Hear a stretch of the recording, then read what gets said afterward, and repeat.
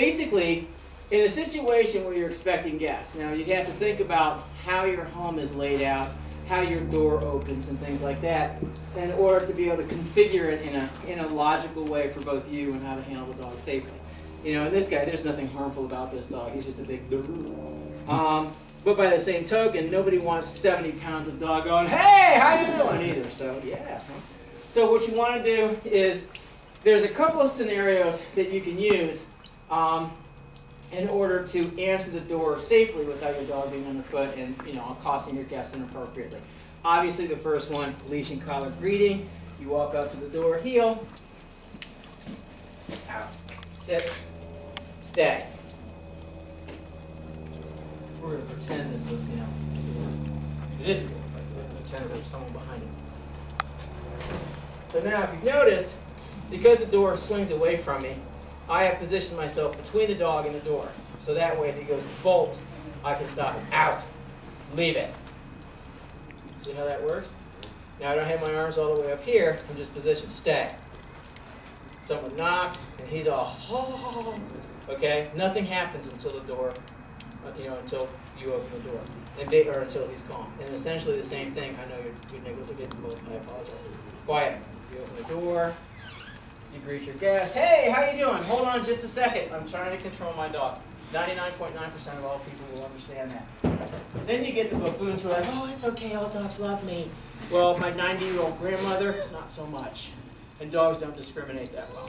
All right? So then your person is there. What I'm going to do is I'm going to control the dog and control their meeting before anything. At this point in time, you determine whether or not your dog is allowed to greet your guest, leave it. You slide in beside them, stay. You have a treat nearby or something where the person can hand, you know, hand the dog a treat, but only if he's calm. So the expectation becomes guests are great, but I only get rewarded if I'm calm. So if he doesn't act like an idiot, he gets rewarded, hey bud, Gunther, Gunther, doobie glad and go. Hello? Good. And then we heel away. Heel. Their guest comes in. I'm walking to my destination, which has a dog bed. Kennel. Down. No. Down. Stay.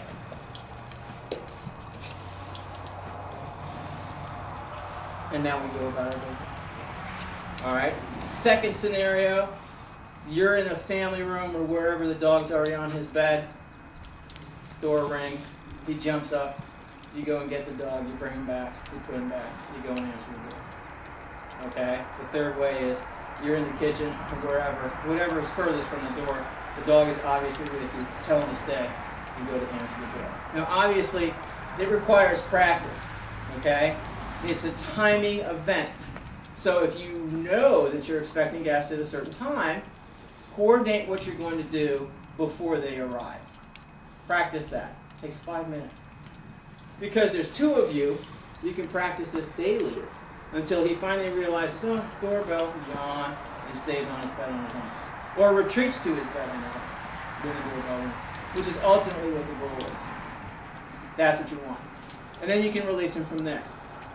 And that's the important thing. Okay. That's the